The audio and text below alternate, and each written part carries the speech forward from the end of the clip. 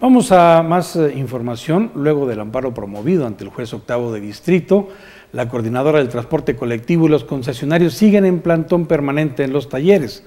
Pero para que el amparo prospere, la CTC tiene que garantizar ante el juez de distrito 500 millones de pesos que representan el 25% de inmuebles de los talleres, cuyo valor rebasa la cifra de los 2 mil millones de pesos.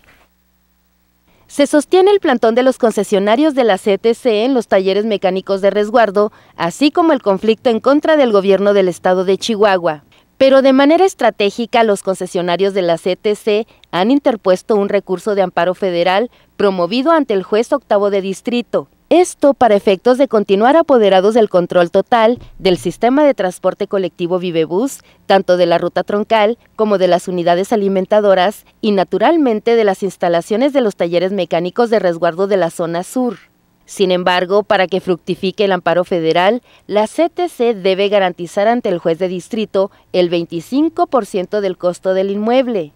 es decir, la cantidad de 500 millones de pesos que representan en este caso las instalaciones de los talleres y que superan en costo la cifra de los 2 mil millones de pesos y que por cierto no les pertenecen a los concesionarios como ellos alegan. De no garantizar la CTC y los concesionarios el pago del 25% del costo del inmueble, es decir, de los 500 millones de pesos, el juez tiene un plazo de 10 días para dictaminar sentencia.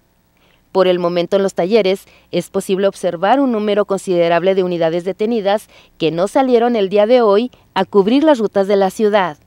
ABC Noticias, Juan Carlos Ramírez y Pilar Monge.